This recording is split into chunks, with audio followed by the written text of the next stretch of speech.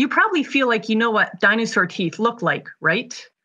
Carnivores like T Rex had sharp pointed teeth, herbivores had flatter teeth. But there's one species of dinosaur that had teeth unlike any we've ever seen. Meet the hadrosaur. One unique feature of hadrosaur teeth is their diamond shape, with enamel only on one side. Most animals have enamel on both sides of their teeth, but not the hadrosaur. So far, we've only found this similar enamel arrangement in the incisors of rodents and rabbits. But that's not all. A hadrosaur jaw looks like a solid brick, made up of hundreds of teeth that are constantly erupting and moving. The teeth are stacked on top of each other in columns. As the top teeth are worn away through chewing, new ones are continuously growing up to take their place.